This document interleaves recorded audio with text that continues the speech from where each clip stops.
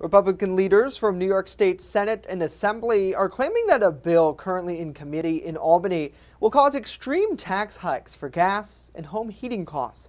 Isabel Garcia with our news partner WENY is breaking down the Climate and Community Investment Act and explains why GOP leaders believe this will add to more loss in jobs for the state.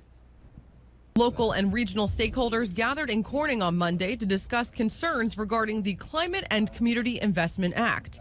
It would impose a carbon tax of $55 per ton of fossil fuel emissions on corporate entities in or entering the state.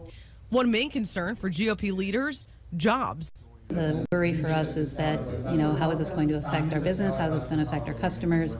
We know it's going to mean increased costs overall. Um, you've heard the, all, all the speakers today talk about increased costs, and we think they're going to be quite detrimental.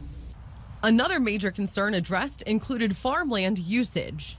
If you look at the amount of land, let's say we took, talk about Indian Point Nuclear Facility, which was producing 2,000 megawatts of electricity. It was in a smaller, compact area, whereas you know, to get that same generation from a, from a solar or wind, it takes a significant amount of land uses.